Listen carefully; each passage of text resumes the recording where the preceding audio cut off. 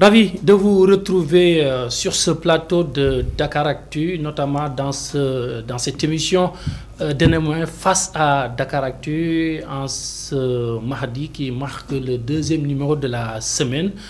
Alors aujourd'hui, nous allons ouvrir une large fenêtre dans le monde éducatif. Euh, avec euh, les enseignants qui euh, risquent de secouer encore euh, le système éducatif avec des grèves qui se signalent par-ci et par-ça, des débrayages qui ont déjà entamé. Et pour en parler, nous avons l'honneur et le privilège de recevoir sur ce plateau M. Abdoulaye Ndoye. Il est le secrétaire général du cadre unitaire des syndicats de l'enseignement moyen. Entendez par là le QSEMS. Bonjour et bienvenue, M. Ndoye. Bonjour, M. Badara. Je voudrais également vous remercier pour cette invitation et permettez-moi de saluer toutes les militantes, euh, militants du QSEM, sympathisantes et sympathisants, en nommant tous les enseignants, les travailleurs du Sénégal. Et je voudrais profiter également de cette tribune pour leur souhaiter une bonne et heureuse année, que cette année soit pour le Sénégal une année de paix, une année vraiment de santé pour tout le peuple sénégalais, une année de réussite, mais également une année où toutes les doléances des travailleurs, notamment les enseignants, seront satisfaites par le gouvernement du Sénégal. Un honneur également pour moi de me retrouver avec vous sur un plateau. Cela fait quand même euh, peut-être des années. oui, oui, je crois que nous avons on a toujours travaillé avec. Je voudrais également saluer M. Monsieur Danfa, euh, vraiment pour l'invitation, et puis saluer toute l'équipe et puis constater également la qualité vraiment des prestations au niveau de Dakar Actu.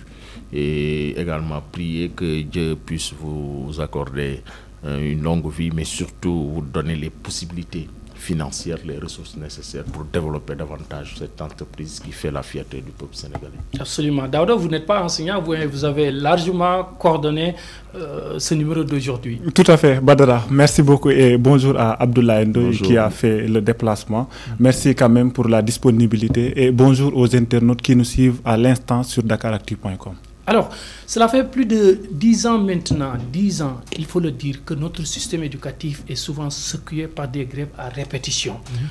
C'est souvent des enseignants, des organisations syndicales qui sortent pour euh, demander souvent, pour la énième fois, le respect des accords signés euh, par le gouvernement alors aujourd'hui, cela démarre et vous annoncez les couleurs peut-être pour les 22 et les 23, malgré l'appel au dialogue quand même euh, du ministère en fonction publique euh, le jeudi prochain, n'empêche que vous dites que euh, peut-être que vous allez peut-être en grève ou bien secouer le système éducatif pour se faire entendre. Cela veut dire qu'aujourd'hui, il y a rupture peut-être de confiance entre vous et le gouvernement actuel Merci Badra. Je dois dire d'abord que nous avons observé une année sans perturbation majeure dans l'espace scolaire. Je crois que vous conviendrez avec nous que nous avons fait preuve de patriotisme, de civisme et surtout de patience. C'est le premier élément. Deuxième élément également, euh, depuis une dizaine d'années, euh, nous demandons uniquement le respect des accords. Parce que je peux citer en 2000... 2011, on a signé un protocole d'accord. En 2014, on a signé un protocole d'accord. Je me rappelle, le ministre d'alors disait que euh, c'est des accords réalistes et réalisables. En 2015, nous avons signé euh, des procès-verbaux. En 2018, précisément le 30 avril 2018, à la suite d'une longue grève menée par le G6, c'est-à-dire entendue par les syndicats les plus représentatifs, euh, le gouvernement a pris des engagements. Mais la particularité de ce protocole d'accord, c'est qu'il y a eu des délais qui ont été consignés dans ce protocole d'accord et les travaux, je veux dire les négociations ont été euh, sous la présidence du Premier ministre, en présence de Madame le Président du Haut Conseil du dialogue social, de Monsieur le Président du Comité du dialogue social secteur éducation, des deux présidents des associations de parents d'élèves et d'étudiants du Sénégal, entendés par euh, là la FENAPES et l'UNAPES, euh, du coordinateur de l'éducation pour tous et du directeur exécutif de la COSIDEF, en plus des, euh, syndicats les, plus représentatifs.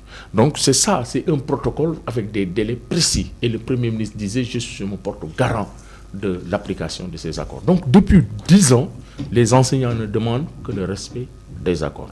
Euh, nous avons fondé un espoir immense sur le protocole du 30 avril 2018. Mais le constat, c'est que les délais ont été largement dépassés. Et euh, nous avons d'abord adressé une lettre d'alerte, nous, en tant qu'organisation syndicale de QSAMS. Lettre d'alerte, c'est une tradition au QSEM. Dès le début de l'année, on adresse une lettre d'alerte. D'abord, on l'adresse au Premier ministre, mais comme le poste a été supprimé, nous l'avons adressé directement au président de la République, avec euh, ampliation au ministère concerné. Nous avons même reçu la réponse du président disant qu'il a reçu la lettre d'alerte. Maintenant, ce qu'on attend, c'est que toutes euh, les questions consignées dans cette lettre d'alerte, qui ont fait l'objet d'engagements fermes par le gouvernement que ces questions soient réglées définitivement. Ensuite, nous avons déposé un préavis et le préavis est, a expiré. Maintenant, nous avons constaté que nous avons largement dépassé aujourd'hui, 30 avril 2018, aujourd'hui c'est presque plus d'un an, euh, le gouvernement traîne les, pieds, on sent qu'il y a du dilatoire, on constate qu'il n'y a pas une volonté politique de régler les problèmes, que l'école n'est pas une priorité. C'est pourquoi nous avons aujourd'hui, euh, le, le, G7 a tenu une conférence de presse hier pour faire le point, mais le constat est là, le constat est accablant. Si vous prenez la question des lenteurs administratives, le gouvernement avait pris des engagements, c'est-à-dire apurer les stocks. Le Premier ministre parlait de déboucher les tuyaux. C'est-à-dire quand on dit déboucher, ça veut dire les tuyaux sont bouchés. Parce qu'il y avait une sédimentation des dossiers. Malgré l'organisation de guichets uniques, d'opération coup de poing et le timide démarrage de la dématérialisation, les lenteurs administratives persistent toujours. Il en résulte, on a prévu pour 2019 10 000 mises en solde, mais en fin septembre, on, était à 3 500. C'est-à-dire on n'a pas pu atteindre la moitié. Ça, c'est dû aux lenteurs administratives. Vous prenez le paiement des rappels. Pour les rappels d'intégration et les rappels euh, de validation, nous sommes au mois de février euh, 2019, c'est-à-dire les dossiers qui sont arrivés au mois de février 2019, c'est des lenteurs. Mais l'enveloppe qui était réservée au paiement des rappels, une partie de l'enveloppe risque de tomber en fonds libres. Parce que quand l'argent, le budget n'est pas dépensé, le budget tombe en fonds libres.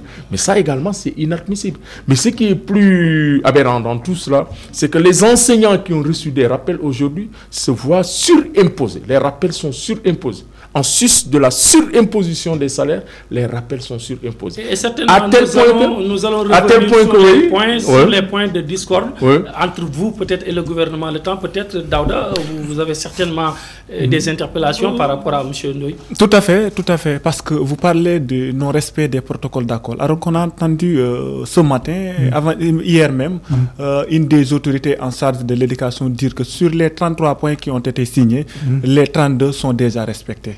Oui, non, attends. Nous avons dit, oui. euh, il faut que les choses soient oui. bien dites. Oui. Nous avons le protocole d'accord. Oui. Et nous, nous avons participé aux négociations. Nous avons signé le protocole d'accord. Mm -hmm. Et ceux qui le disent, peut-être ils le disent comme ça, parce que c'est, il faut le dire. Mais la vérité des faits, c'est que ce qu'il a dit n'est pas conforme. L'autorité, la vérité des faits. Ah bon? Oui, c'est pas conforme à ce qui est, ce qui s'est passé réellement. Parce que si vous prenez le protocole d'accord, je reviens, je parle des lenteurs administratives.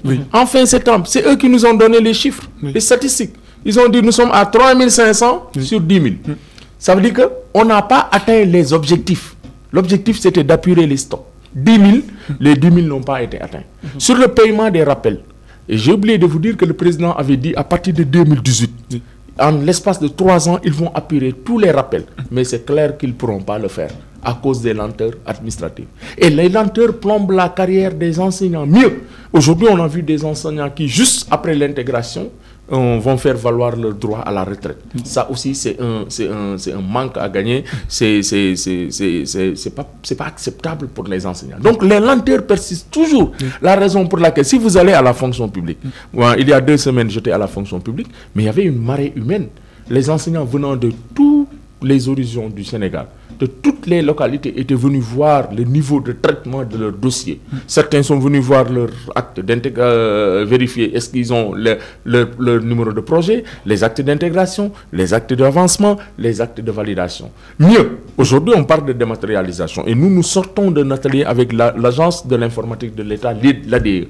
L'ADI a reconnu qu'aujourd'hui il leur faut suffisamment d'argent pour dématérialiser les procédures jusqu'au niveau des IF. Et nous, nous pensons que c'est la dématérialisation totale, effective des procédures qui peut régler le problème des lenteurs administrative. Donc les lenteurs sont là et elles persistent toujours et c'est un problème majeur parce que ça plombe la carrière des enseignants. Les enseignants ferment des classes pendant une semaine, pendant des jours pour venir à Dakar pour vérifier leur dossier. Est-ce que le dossier a été transmis? Est-ce qu'ils ont un numéro de, de, de, de projet? Est-ce que l'acte est disponible? Etc. etc. Donc ça, c'est le premier point. Deuxième point, vous prenez la question des, des, du sport, le CNEPS. Le gouvernement euh, s'était engagé à créer le corps des professeurs d'éducation physique en EPS, n'est-ce pas? Mais pour, faire, pour ce faire, il faut modifier deux décrets. Le décret 77 1177 du 30 décembre 1977 et le décret 2018 euh, 803 du 30 avril 2018. Et cette modification permet D'abord, le reversement des MEPS. Quand on dit MEPS, c'est les maîtres d'éducation physique, les charges de cours dans le nouveau corps. Deuxième élément, c'est que ça va créer un cadre d'accueil, un cadre juridique, un cadre d'accueil, parce qu'il y a aujourd'hui des professeurs de PS sortis du CNEPS, Centre national d'éducation populaire et sportive de Thiès, qui sont au nombre de 84, qui sont professeurs contractuels, mais depuis plusieurs années, ils ne peuvent pas être intégrés parce qu'ils n'ont pas un cadre d'accueil. Donc la modification va, va régler deux problèmes, c'est-à-dire le reversement des MEPS et va trouver un cadre d'accueil pour ceux qui sont déjà dans la fonction publique, qui sont professeurs contractuels. Mais depuis 2007, nous courons derrière la modification de ces décrets. Et ça aussi, c'est une réalité que personne ne peut nier. Donc ça, c'est un deuxième problème. Ici, ajoute qu'au moment où je vous parle, il y a 170 178 professeurs de PS qui sont au chômage. Et au même moment, il y a un déficit criard d'enseignants au niveau des IA de Thiès, Kaolak, Dakar, Saint-Louis, un peu partout. Et certains même ont fait appel à candidature pour recruter des chargés de cours en EPS. Donc ça, c'est un problème. Mhm. Troisième aspect, vous prenez la question du système de rémunération. Depuis 2000, il y a une rupture des équilibres. C'est-à-dire que l'équilibre est rompu et est caractérisé par une dérégulation exponentielle du régime indemnitaire. Ensuite, des écarts salariaux inquiétants une prolifération. Des agents de la fonction publique Oui, oui, au niveau des agents. Une mhm. prolifération des agences, mhm. mais une prolifération des contrats spéciaux. Et les enseignants, nous, on a fait le constat, après une étude, nous avons dit, là, ce qui peut régler la question du système de rémunération, c'est l'alignement. Le gouvernement nous a dit, attendez, je vais euh, commanditer une étude. L'étude a été réalisée par le cabinet MGP qui a été choisi par le gouvernement du Sénégal. Mhm. Mais les constats sont les mêmes que, nous, les constats du, cabinet sont les mêmes que les constats que nous avons faits. Et au bout du compte, qu'est-ce que dit le cabinet? Il a dit non seulement il y a le système indemnitaire est inadéquat et inéquitable, mais il a dit qu'il est caractérisé également le système de rémunération par des disparités et des inéquités. Et le, cabinet a fait des recommandations. Il faut aujourd'hui euh, revoir le système de rémunération, mettre en place un système de rémunération juste, motivant, équitable, euh, attractif et, justement, c'est ça mhm. qui peut euh, créer la justice. Mais on a fait l'étude, les résultats sont là. Nous avons fait deux séminaires, mais le gouvernement fait du dilatoire et refuse aujourd'hui de corriger les inéquités. Parce que le combat que nous menons, nous, c'est un combat pour l'équité et la justice sociale. Au moment où le Burkina Faso a bouclé ce dossier, mhm. parce que les, les, mêmes problèmes se posent au Burkina Faso, le président Kabore, au mois de juin 2018, a demandé qu'il y ait une conférence nationale sur le système de rémunération des agents de l'État. Mhm. Et au terme de cette conférence, les conclusions, aujourd'hui, le président s'est engagé à les appliquer pour qu'il y ait un système de rémunération juste et équitable. Et c'est ce que nous, nous avons demandé. Cela aussi n'est pas réglé. Vous prenez le problème des administrateurs scolaires. Quand on dit administrateurs scolaires, c'est les directeurs des écoles élémentaires, c'est les principaux des collèges, mhm. c'est les proviseurs des lycées. Nous avons dit, avec l'augmentation aujourd'hui, il y a une euh, augmentation des personnels enseignants. Donc, le, celui qui dirige l'établissement, ah, il, faut, lui faut des compétences en management, en gestion des ressources humaines et en gestion du budget. Mhm. Donc, il faut aujourd'hui professionnaliser le corps. On a fait l'étude tout le monde est d'accord, on a même des, projets de décret, mais le gouvernement ne veut pas l'appliquer alors que c'est un engagement ferme. Ça également, c'est un point. Vous prenez maintenant, je vais... vous terminez par là On a d'autres questions. D'autres questions. Vous prenez par exemple aujourd'hui la question... Euh, euh, du prêt DMC. Mm. Le gouvernement avait dit en 2016, dans le protocole, mm. je peux sortir le protocole tout à l'heure, mm-hmm. en 2016, tous les protocoles, c'est-à-dire ceux qui ont reçu des, des conventions de prêt, on va apurer comme on l'a fait. C'est-à-dire, il y a un stock, il y a des gens qui ont reçu des conventions de prêt, mais qui n'ont pas reçu le prêt d'MC. Et il a dit, en fin septembre 2018, ils vont apurer tous les stocks. Mais on avait euh, dégagé, mais même la deuxième tranche n'est pas disponible. C'est-à-dire qu'aujourd'hui, cela aussi, cet engagement n'a pas été respecté. Donc, au bout du compte, euh, ici, ajoute maintenant, c'est par là que je vais terminer, les conditions de travail des enseignants. Nous avons constaté aujourd'hui que les conditions, l'environnement scolaire devient de plus en plus difficile, avec des effectifs pléthoriques, des classes de plus de 100 élèves, mais des abris provisoires, euh, des infrastructures, par exemple, qui ont atteint un niveau de déliquescence et qui risquent de s'écrouler sur leurs pensionnaires. C'est le cas du lycée Mamchambay de, de Tamba. La réduction drastique des crédits horaires, c'est-à-dire euh, avec, pour combler le déficit, le- la stratégie qu'on a trouvée, en mathématiques, l'élève qui doit faire 6 heures par semaine, on lui fait faire 4 heures ou 3 heures. Et qu'en est-il du canton alors, alors dans ce cas? C'est ce que je dis. Ça veut dire quand vous diminuez, ça va impacter négativement sur le canton scolaire. Donc ça, c'est pour eux. C'est ça qui règle. C'est pour régler le problème. On a tenté les redéploiements. Moi, je viens de Ziguinchor au lycée Djignabo, il y avait une crise. Et j'en profite pour saluer tous les enseignants de Ziguinchor, mais saluer également le médiateur Noah Sissé qui a joué un rôle déterminant pour dénouer la crise à, à Ziguinchor pour un problème de redéploiement. Et également la compréhension de l'IA. Parce que nous avons dit à l'IA, pour des questions de redéploiement, voilà, ça ne mérite pas, ça ne, ça ne vaut pas la peine que toute la région soit à, euh, en ébullition. Tout à fait. Donc c'est dû au, dû au fait qu'il y a un déficit criard d'enseignants en maths. Mhm. en espagnol et en EPS. Maintenant, eux, ils pensent que en diminuant les crédits horaires, notamment en mathématiques, on va combler le gap. Mais cela ne fait que créer des difficultés. Parce que quand on diminue le crédit horaire, on surcharge les enseignants. Et aujourd'hui, les enseignants ont dépassé les limites objectives Tout à fait. pour les enseignements. Donc voilà les problèmes qui ont fait que, parce que c'est des engagements fermes que le gouvernement du Sénégal avait pris, mais malheureusement le gouvernement du Sénégal n'a pas honoré ces engagements. Les délais ont été largement dépassés.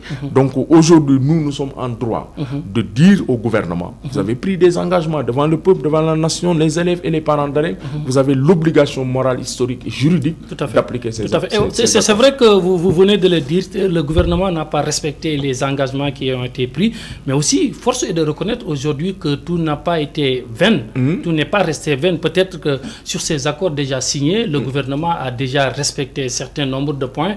Euh, ne pensez-vous pas que l'État devrait peut-être bénéficier d'un état de grâce ou bien euh, vous étiez dos au mur? Non, il n'y a même pas. On est resté un an. Un an sans perturbation majeure. Ça, tout le monde peut le constater au Sénégal. Il n'y a pas eu de grève. Absolument. Un an, vous n'avez pas vu un jour où les gens sont allés en grève. Parce qu'on a donné du temps au gouvernement. Deuxième élément, vous savez, dans un pays, dans un système éducatif, il y a des questions qui ne doivent pas faire l'objet d'une grève. Les carrières, dans un pays normal, organisé, quand vous déposez votre dossier par voie hiérarchique, à l'IF par exemple de Bignona 2 ou Bignona 1, vous déposez votre dossier à euh, Richard Toll ou bien à Dagana, ou bien à Ousoui ou à Bignona, mais par voie hiérarchique. Mais c'est au niveau aussi de l'IF que vous devez retirer votre dossier. Mais vous déposez votre dossier par, par voie hiérarchique, vous êtes obligé de venir à Dakar pour vérifier est-ce que le dossier a été transmis. Donc il y a des questions, les gens sont en train de patauger aujourd'hui le respect des accords. Pourquoi depuis plusieurs années La question des carrières, la question des rappels, la question de l'habitat. Alors qu'il y a des questions importantes aujourd'hui. Parce qu'aujourd'hui, le défi mondial, c'est le défi de la qualité. Aujourd'hui, l'agenda 2030 est articulé autour de la qualité. Et la qualité interroge euh, la formation diplômante des enseignants, parce que l'enseignant est le premier intrant qu'il faut former et motiver. L'environnement Et scolaire. Là-dessus, le les- gouvernement a fait des efforts aussi hein, Les- sur la formation euh, diplômante des Oui, oui. enseignants. Les, les conditions de travail, les classes pléthoriques, les abris provisoires, euh, la réduction des budgets d'établissement. Aujourd'hui, on a réduit les budgets d'établissement. Les chefs d'établissement ont d'énormes difficultés pour fonctionner conven- convenablement. La qualité interroge également, justement, les ratios professeurs, en- enseignants-élèves, mais les ratios inspecteurs euh, enseignants. La qualité interroge également euh, ce que j'ai appelé, moi, la motivation, parce que aussi la motivation est un élément de qualité, mais également les résultats scolaires. Et on a vu que depuis presque 5 ans, surtout au bac et au BFM, on tourne autour de 30%. Et pourtant, ça c'est une question importante, mais on n'a pas le temps de penser la qualité. Pourquoi? Parce qu'on est toujours dans ces questions de respect des accords, parce que le gouvernement joue toujours au délatoire. L'autre aspect, c'est la question du financement de l'éducation qui est un enjeu de taille. Pourquoi? Parce que 6% du budget est mis dans l'éducation. 23 23% du budget de fonctionnement. Mais malgré ces énormes ressources qui sont injectées dans le système, l'école est toujours confrontée à des difficultés. Ça, pose la question de la, gouvernance du système éducatif. Mhm. transparent, rationnel des, ressources. Mais ça aussi, c'est un défi. Mhm. Ici, ajoute aussi l'efficacité. C'est-à-dire l'efficacité du système, c'est quoi? Ça veut dire que dans un système efficace, efficace, en 20 ans, un enfant peut devenir cadre. Mais malheureusement, on n'a pas le temps de penser. Parce que l'autre aspect, c'est le financement innovant. Parce qu'aujourd'hui, il faut penser au financement endogène innovant. Parce que l'éducation est un, domaine de souveraineté nationale. Et qui dit un domaine de souveraineté nationale doit prendre en charge le financement de l'éducation. Donc, l'un dans l'autre, nous sommes, le gouvernement nous a habitués à jouer au dilatoire, à ne pas respecter des accords, à tel point que les enjeux majeurs de l'école, on n'a pas le temps d'y penser, d'y réfléchir et de repenser notre système éducatif. Tout à fait, vous l'avez dit tout à l'heure sur la qualité de l'enseignement. On vous entend tout le temps se plaindre, surtout pour l'amélioration de vos conditions de vie, surtout les conditions de vie des enseignants. Mais on ne vous entend pas parler, aborder cette qualité, plaindre, se plaindre pour la qualité, parce qu'on voit que la baisse des niveaux est aujourd'hui un fléau dans notre système éducatif. Je voudrais citer Ignacio. c'est l'aspect argent qui intéresse les oui, Je voudrais citer Ignacio de Ramonet. C'est le rédacteur en chef du monde diplomatique. Vous me permettrez de signer, je ne fais pas de la publicité. Euh, mais euh, il a dit dans, il y a toujours dans la communication le sensationnel. Mais si vous regardez nos plateformes, mm c'est les syndicats qui ont posé la, la, problématique de la formation diplômante de ce qu'on appelle des enseignants titulaires de diplômes spéciaux. Mhm. Si vous prenez la philo, il y avait un déficit criard. L'État a été obligé de faire recours aux diplômés en sociologie mhm. et qui tiennent les classes pendant 10-15 ans. Nous avons dit, après avoir capitalisé 10 ans, 15 ans d'expérience en terminale, en tenant des classes de terminale, vous avez corrigé le bac. Mais on doit pouvoir vous, faire une formation diplômante pour avoir un diplôme qui vous permet, parce que aussi les, ces gens-là pensent à leur carrière. Il leur faut une promotion de carrière. Donc c'est nous, c'est le combat des syndicats qui a abouti à la formation diplômante. Il y a également les professeurs de maths Beaucoup de profs de maths n'avaient pas une formation initiale en mathématiques. Mm. C'est des diplômés en économie mm. qui on a transformé en professeurs de mathématiques. Mm. On s'est battu pour leur formation parce qu'à force de pratiquer euh, la classe, de tenir des classes, ils ont capitaliser de l'expérience. Nous avons dit ce qu'on appelle en France la valorisation des acquis d'expérience. Il faut mettre en exergue ces acquis d'expérience, leur faire faire une formation diplômante pour qu'ils puissent avoir eux aussi une promotion de carrière. Il en est de même pour les professeurs d'économie. Ils étaient plus nombreux à Saint-Louis. C'est des diplômés, c'est des gens qui ont le bac A, qui ont été recrutés pour enseigner l'économie. On s'est battu eux aussi, ils ont changé d'option. Mais seulement on ne vous entend pas parler. on en parle, mais dans la communication, il y a une seconde, c'est volontaire, parce que souvent je l'ai dit, les gens aiment le sensationnel. Mais si vous, vous relisez, vous consultez les, différentes, euh, les différents préavis et les, les, lettres d'alerte des enseignants, vous verrez que la formation, les questions pédagogiques figurent en bonne place. Nous avons, nous aussi, dénoncé la, les, les, classes pléthoriques, c'est nous qui l'avons dénoncé. On a dit aujourd'hui, c'est inadmissible qu'il y ait dans une classe plus de 100 élèves, parce que la taille pédagogique d'une classe, c'est 45 élèves. Mais aujourd'hui, dans la banlieue d'Aquaras, vous allez à Thiès, un peu partout, mais les effectifs tournent autour de 100 élèves plus. Ça, c'est des difficultés. Nous avons également dénoncé les abris provisoires. On nous avait promis même de, supprimer les abris provisoires. De gros efforts ont été faits par Oui, mais la réalité, hein. je sors, d'un séminaire à Sali où le directeur de la construction scolaire a été clair que tous les travaux sont arrêtés parce qu'ils ont des problèmes d'argent, excepté l'IF de Djamnyadjo. Ça, nous étions à Sali, il l'a dit devant tout le monde. Et si vous regardez dans les écoles, les travaux événements sont, sont arrêtés. Nous avons également, aujourd'hui, c'est nous qui... Les gens se sont, sont en train de se battre pour la formation diplômante. D'ailleurs, au moment où je vous parle, il y a une formation diplômante des professeurs de philo.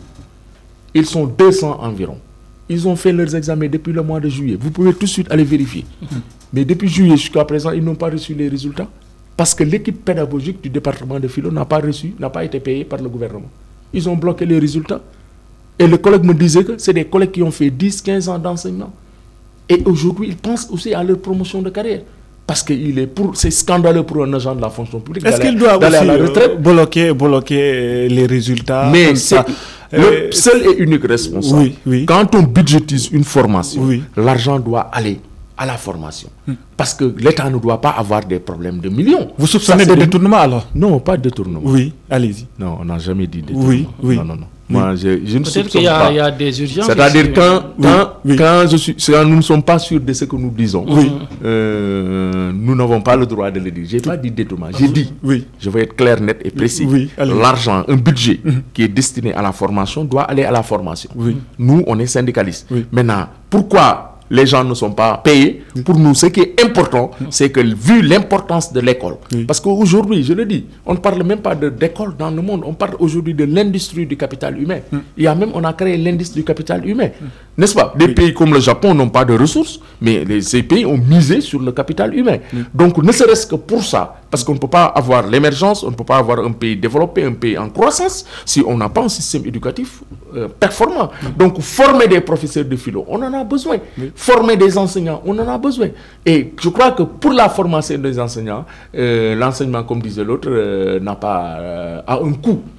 Donc il faut y mettre l'argent. Et je crois que c'est quelques millions. Je crois que donc il faut payer l'équipe pédagogique de la philosophie pour qu'il libère les Le seul responsable, c'est le gouvernement. Si le gouvernement peut se permettre de réaliser des infrastructures, le terre, c'est bon. Mais nous, les priorités se trouvent ailleurs.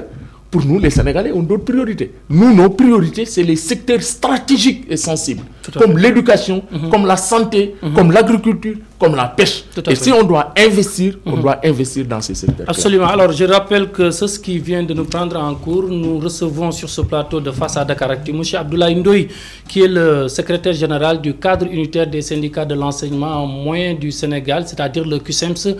Par ailleurs, euh, membre du G7 euh, qui est présentement en mouvement. Alors, face à tous ces problèmes, face à ces nombreux accords qui n'ont pas été respectés par, le gouvernement, chaque deux ans ou bien chaque année, c'est des débrayages, des grèves à n'en plus finir.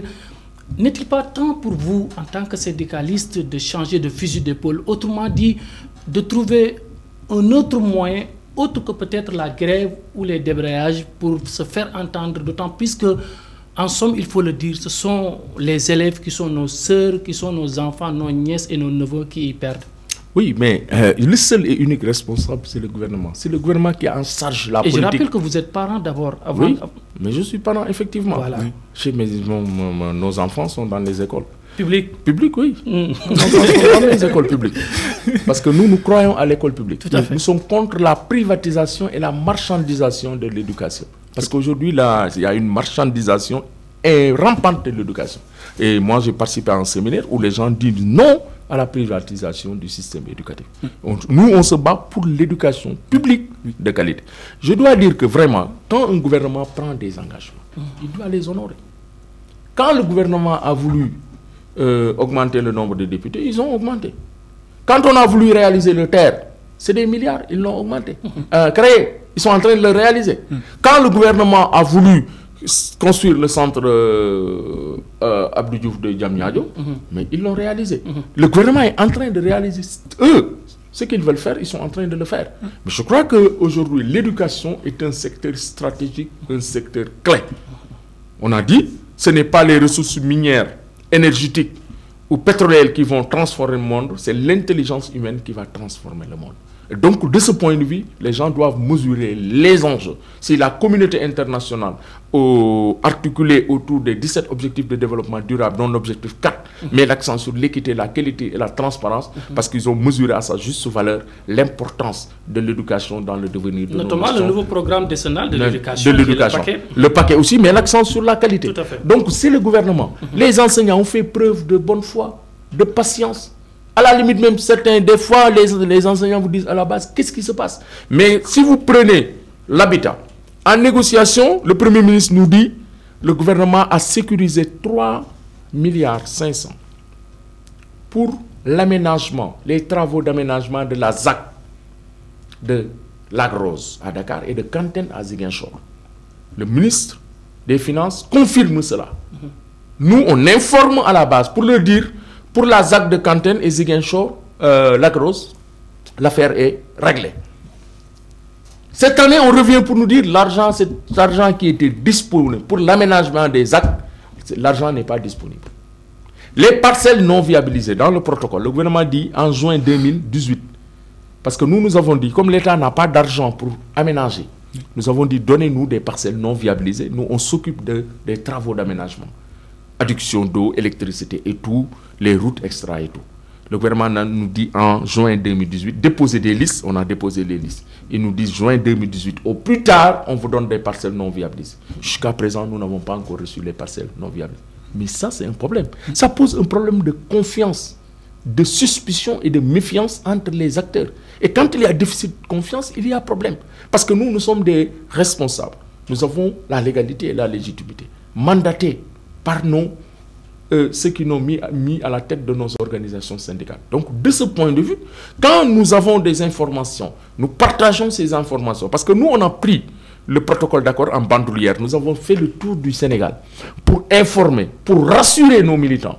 Mais certains nous disaient, attention, Ndoui, vous avez, on a l'impression que vous êtes... Euh, je dis non, je crois que cette fois-ci, c'est la bonne. Parce que quand le Premier ministre prend des engagements en présence de presque une partie du gouvernement, du Haut Conseil du dialogue social, des parents d'élèves, du, du, de la COSIDEP, de la coalition éducation pour tous, des acteurs du système éducatif, je pense que le gouvernement ne va pas revenir en arrière. Mais malheureusement, les engagements consignés, parce que le problème, ce n'est pas de dire ils ont fait ceci, mais c'est parce que les objectifs qu'on s'est fixés, ces objectifs n'ont pas été atteints. Avec des échéanciers. Les échéanciers, parce que c'est ça aussi, l'aspect scientifique. Pour pouvoir évaluer, il faut des indicateurs. Mhm. Mais pour faciliter les indicateurs, il faut, il faut des statistiques. On a dit tel mois, telle année, voilà ce qu'on doit faire. Mais arriver à date, on s'est rendu compte que ceci n'a pas été réalisé. Donc les objectifs n'ont pas été atteints. Une augmentation de 60 à 100 000 francs sur les indemnités de logement des enseignants, cela ne devrait pas suffire pour ne pas aller en grève? Euh, Vous savez déjà, oui. les enseignants sont lésés. Un, un enseignant bac plus 6, 30 ans de service, oui. à peine a-t-il 500 000 francs? J'ai dit 30 ans de service. Bac plus 6, c'est celui qui a la maîtrise qui a fait 2 ans qui a capitalisé 30 ans de service. Ailleurs, ici au Sénégal, on a vu des directeurs d'agence qui ont des salaires qui tournent autour de 15 millions ou plus. 5 jusqu'au truc. C'est ce que nous, nous avons appelé, appelé les écarts salariaux, les problèmes. L'autre aspect, l'enseignant ne peut pas se soustraire au système d'imposition. L'enseignant ne peut pas se soustraire au système d'imposition. Mais on a vu ici que, de manière claire, qu'à l'Assemblée nationale, les gens payent 1500 ou 2000 francs d'impôts par mois. Quand tu vas retirer ton salaire, tu payes au minimum 2000 francs pour aller prendre ton salaire. Mais ça crée, ça pose ce qu'on appelle la question de la justice fiscale. Donc nous, en tant que, en tant qu'enseignants, ce que nous, nous disons au gouvernement, c'est clair, net et précis. C'est que vous avez pris des engagements, il y a des délais qui sont consignés, et maintenant, Qu'est-ce que vous devez faire? C'est de respecter, c'est le gouvernement qui doit aider. D'autant plus qu'en 2014, le gouvernement là, avait dit que les accords que nous signons sont des accords réalistes et réalisables. C'est qu'ils ont mesuré, ils ont analysé. Parce que ceux qui viennent aux négociations, ce n'est pas n'importe qui.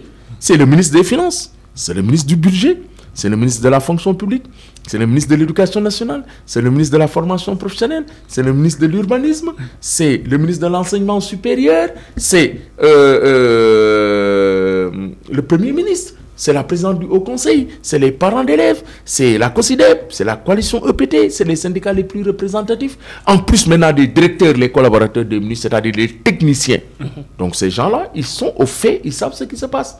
Et quand ils viennent, quand ils font des propositions, ils acceptent nos propositions, c'est parce qu'ils savent que c'est possible, c'est réalisable. Maintenant, ce qui manque au gouvernement du Sénégal, c'est la volonté politique. Mm.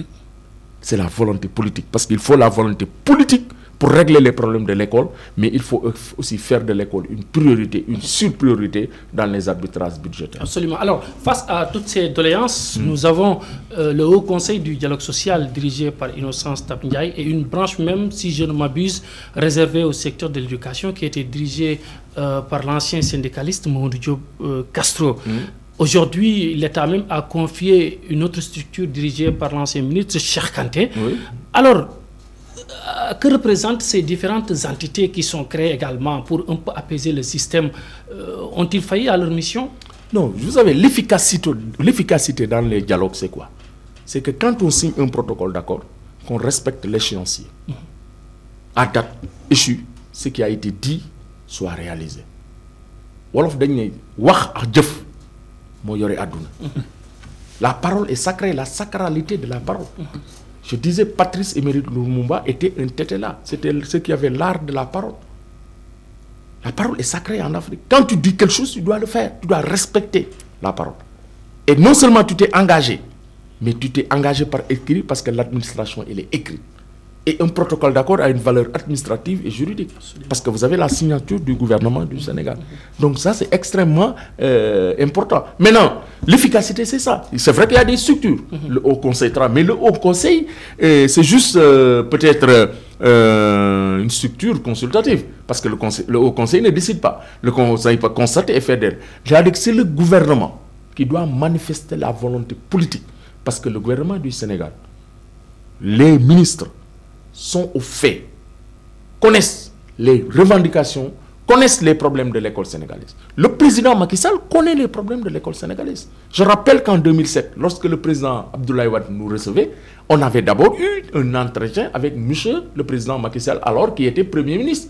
C'est au sortir de l'audience avec le Premier ministre que nous sommes allés directement au palais, je me rappelle, vers 20h, 21h30, pour aller négocier avec le président de la République. Et c'est au cours de cette négociation que nous avons obtenu l'indemnité documentaire compensatoire. Mais ça aussi, on a accepté. On a dit, on augmente nos heures par semaine et on nous donne l'indemnité. Ce n'est pas quelque chose qu'on a donné. Si vous voulez, c'est un accord gagnant-gagnant. Maintenant, vous avez dit les 100 000 francs. Mais même avec ces 100 000 francs, les salaires n'ont pas bougé parce qu'on a surimposé cela.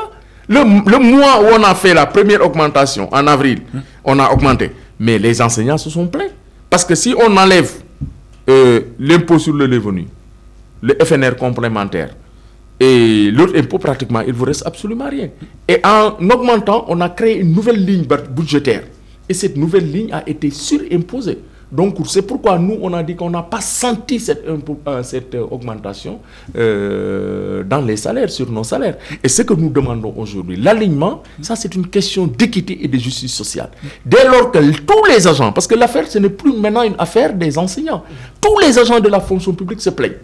Tous les Sénégalais sont d'accord qu'il y a des écarts salariaux inquiétants. Tous les Sénégalais sont d'accord qu'il y a une iniquité et des disparités dans les indemnités tous les Sénégalais sont d'accord qu'il euh, y a des problèmes dans le système de rémunération. Mais il faut corriger. Le président lui-même est d'accord. Je me rappelle quand il nous a reçus au palais, il a même dit qu'il va lui aussi commanditer une autre étude qui sera réalisée par l'inspection générale d'État qui permettra de corriger toutes les inéquités. Et malheureusement, le 1er mai passé, le président avait dit qu'on ne peut pas aligner. Non, on n'a pas dit ça. Nous, ce qu'on a demandé, c'est l'équité et la justice sociale comme ce qui se passe au Burkina et ailleurs, que les salaires soient aujourd'hui revus, corrigés, parce que l'étude, qui est une étude scientifique, réalisée par le cabinet, a pointé du doigt les faiblesses du système de rémunération, a fait des recommandations pertinentes. Il faut aller vers ces recommandations pour rassurer le monde du travail. Parce que si le monde du travail n'est pas rassuré, si le monde du travail n'est pas motivé, si le monde du travail n'est pas dans de bonnes conditions, euh, je ne pense pas comment on va prétendre, comment on peut prétendre à l'émergence, à la croissance ou au développement économique du Sénégal. Vous évoquez euh, euh, un manque manifeste de volonté de la part des autorités, alors mm. qu'on nous annonce que de 2012 à 2019, mm. plus de 80 milliards de francs CFA ont été injectés dans l'éducation. Oui, quand ils disent 80 milliards, ils parlent de rappel. Le rappel, c'est une dette que l'État doit aux enseignants. Parce que quand vous êtes intégré, mm. à cause des lenteurs, je dis, un enseignant peut rester 5 ans, 10 ans. Maintenant, même pour les retraites, on a même amélioré un tout petit peu. Mais à l'époque, tu peux aller à la retraite, rester un an sans avoir ta pension. Bonjour les dégâts. Donc en vérité, les 80 milliards dont parle le Sénégal, le, président, ce n'est pas de l'argent qu'on nous donne. Ce n'est pas une, une, revendication, c'est une dette. Mais quand on mesure la somme, ça veut dire que les enseignants sont morts. Quand on vous dit, non c'est vrai, quand on vous dit que l'État doit 80 milliards aux enseignants, c'est que les enseignants sont morts. Et pourtant, à la limite, on s'est résigné. Mais cela ne peut plus compter. Mais nous avons dit, au-delà de l'aspect pécunier, il y a ce qu'on appelle la motivation. Parce que l'école est un système de vases communicants. On ne peut pas analyser les éléments de manière détachée. Tout se tient. Aujourd'hui, on parle des problèmes de l'école, mais aujourd'hui, il y a une nouvelle donne. Avec l'acte 3 de la décentralisation et le transfert des compétences, il faut aujourd'hui tenir compte. Il faut impliquer les collectivités territoriales dans les systèmes éducatifs. Parce qu'ils ont des compétences en matière d'éducation, d'alphabétisation, etc., etc. Ça est un élément. Mais ce qui est dangereux, plus dangereux pour nous, ce n'est pas, euh, c'est la démotivation et la démoralisation. C'est la désaffection du métier d'enseignant. La preuve, aujourd'hui, on a un déficit criard en mathématiques parce que les gens sont en train de quitter l'enseignement pour aller vers d'autres stations. Un déficit criard en philo, dans d'autres disciplines, parce que les gens vont aller ailleurs. Quand vous êtes dans enseignant, on vous donne des salaires de misère. Vous savez que vous avez ailleurs, on vous donne un bon salaire. Euh, on, vous êtes logé, véhiculé. Mais c'est clair que vous allez partir. Et vous avez même entendu dire qu'il y a des problèmes en matière scientifique. Je me rappelle, on disait euh, aux autorités que même si on forme 2000 profs de maths aujourd'hui, si ces profs ne sont pas bien payés, bien rémunérés, mis dans de bonnes conditions, ils vont déserter le système pour partir. Et ça, c'est le danger. Mhm. On parle de brain drain, la fuite des cerveaux. Mhm. C'était un euh, problème pour l'Afrique. Mhm. Mais aujourd'hui également, on risque d'avoir ce même phénomène dans l'enseignement. Les gens sont en train de quitter l'enseignement pour aller ailleurs. Pourquoi Parce que justement, les conditions de travail sont Vous n'avez jamais vu mieux. Les gens se, même acceptent de se dégrader.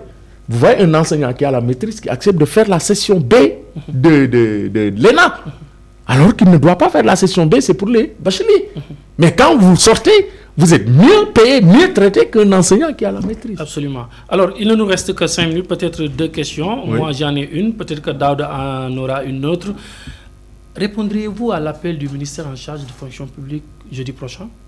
Bon, on a reçu la convocation, mais ce qui est étonnant, c'est qu'il a fallu qu'on lance le plan d'action articulé autour d'un débrayage le 22 janvier, mercredi. Qu'il convoque cette réunion 10 heures.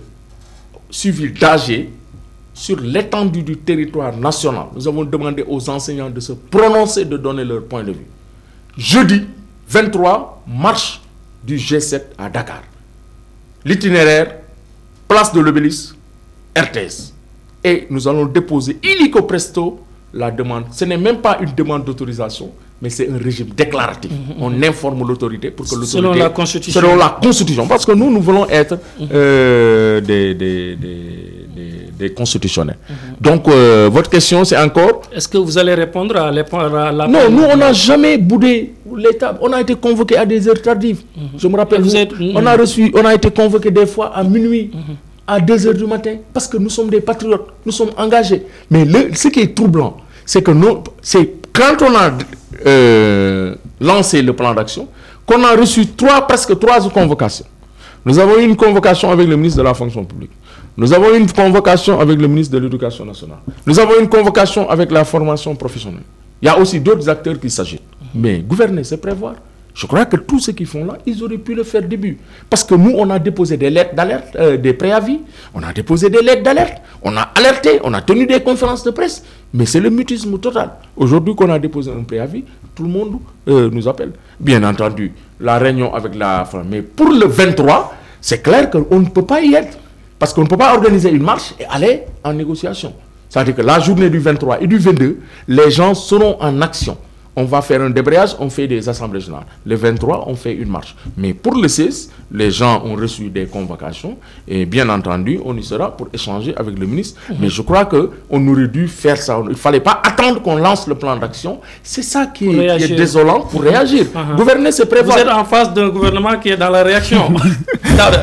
le dialogue national, on a entendu certains de vos camarades syndicalistes dire que Mamadou Lamine Dianté ne peut pas nous représenter dans ce dialogue.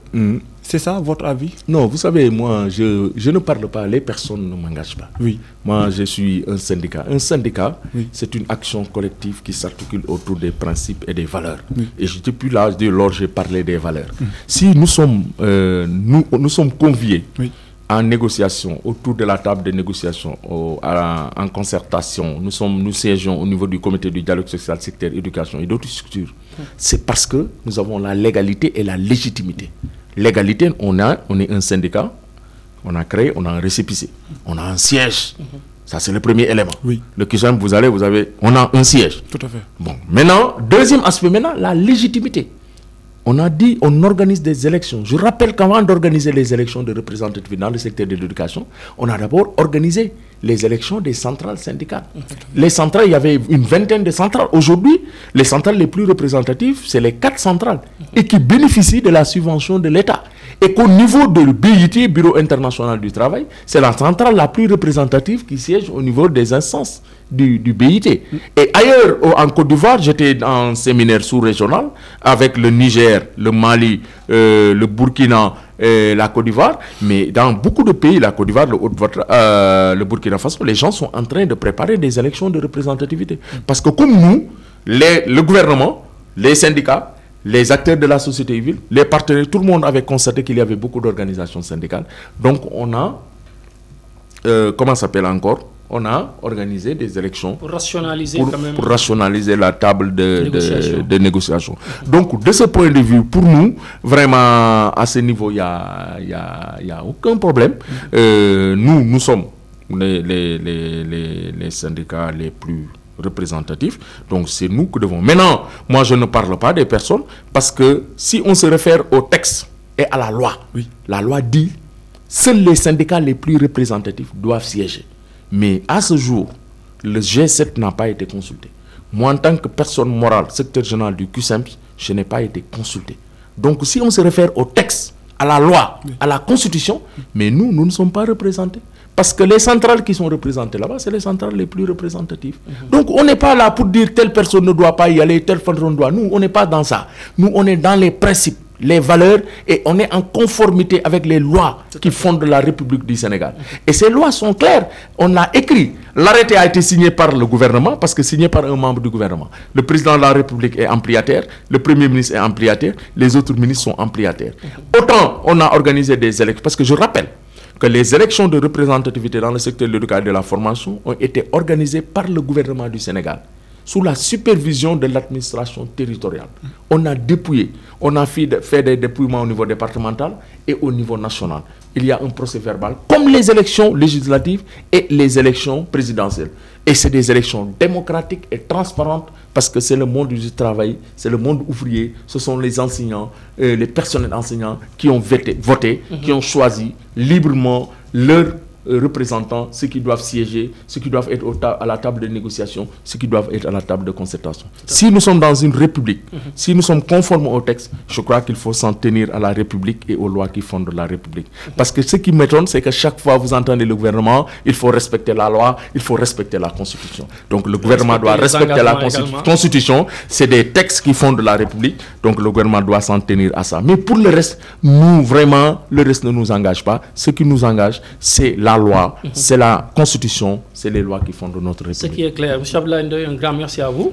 Merci d'avoir honoré de votre présence cette émission également. Voilà, je vous remercie. Moi, je voudrais dire euh, dernier mot que euh, je crois que dans un pays démocratique fort, autant il y a la démocratie politique, mais il y a la démocratie sociale. Dans un pays démocratique, il, il faut travailler. Le gouvernement doit travailler pour avoir une presse forte, Absolument. crédible, mais une presse qui est autonome, souveraine. Parce que la presse aujourd'hui est un pouvoir incontournable. Et moi, c'est l'occasion de rendre un vibrant hommage à toute la presse sénégalaise. N'est-ce pas pour le travail, parce que il, il c'est des risques énormes, mais ils ont choisi, c'est un sacerdoce. Deuxième élément, il faut que le gouvernement comprenne que euh, les syndicats, ce qu'ils font, c'est légitime et c'est fondé sur la, la, la, la, légalité. Parce que le droit syndical est un principe constitutionnel. Et le droit syndical est, consigné dans le préambule et dans le corps constitutionnel de la Constitution du Sénégal. Donc ce que nous faisons est légal. Donc le gouvernement, le jeu démocratique, pour que les gens vivent en paix, qu'on respecte les jeux démocratiques, il faut que les gens respectent cela. Et cela me permet de parler même des libertés publiques. Parce qu'aujourd'hui, ce que nous constatons sur le champ syndical, il y a une violation des libertés publiques. Parce que ça aussi, on ne peut pas l'accepter. Et en plus de cela, le pouvoir d'achat des travailleurs est aujourd'hui entamé. Parce que l'augmentation du prix de l'électricité pèse lourdement sur le budget des ménages, sur le niveau de vie des, des, salariés, des retraités et des privés d'emploi. Pourquoi j'ai dit retraités au Sénégal? Ce sont les retraités qui continuent de gérer la maison. De gérer les familles. Mhm. Donc, quand on augmente le prix de l'électricité, un retraité ne peut pas payer une facture de 100 000, 75 000. C'est inadmissible, intolérable. Je crois que l'un dans l'autre, ceux qui nous gouvernent doivent comprendre que c'est le peuple. Ils sont là pour le peuple. Ils sont là c'est les serviteurs du peuple sénégalais. Tout à fait. Et souverainement, ce peuple a choisi son gouvernement. Et qu'en 2011, des Sénégalais ont sacrifié, se sont sacrifiés pour défendre la République, pour défendre la Constitution, au nom des valeurs républicaines, au nom de la Constitution, au nom des sacrifices qui ont été construits par plusieurs, consentis par plusieurs générations. Je crois que raison gardée. Aujourd'hui, nous avons le devoir, eux, parce que l'histoire retiendra. Ils ont le devoir de sauvegarder la démocratie. Et l'aspect syndical est important. Il faut aujourd'hui comprendre, et je vais terminer par là pour dire le président de la République, qui est le président de tous les Sénégalais, ne doit pas écouter le militant, le partisan, mais il doit être à l'écoute du citoyen, du journaliste, de l'enseignant, du syndicaliste, du travailleur. Je vous remercie. Merci beaucoup, Daouda, à toi également. Merci, Badara. Je terminerai par cette citation de Abdoulaye Ndoye. Dans une démocratie, il faut beaucoup travailler. Merci beaucoup, Abdoulaye Ndoye, d'avoir fait le déplacement. Merci, Badara. Merci, merci, Daouda. C'en est tout pour aujourd'hui. Un grand merci à Abdoulaye Ndoye, secrétaire général du cadre unitaire des syndicats moyens du Sénégal, le QSEMS, membre également de cette collectif appelé le G7 qui, part, euh, qui va marcher le 23, n'est-ce pas hein? Il faut le rappeler. Un grand merci également pour Dauda pour la coordination du numéro d'aujourd'hui. Merci aussi à tous ces techniciens qui nous ont aidés à préparer, à vous présenter cette émission, sans oublier aussi ces interminables internautes qui nous suivent d'ici et d'ailleurs. L'information continue. Nous aurons un autre invité d'ici, s'il plaît à Dieu. Dakaractu, la référence. Merci à toutes et à tous. Merci.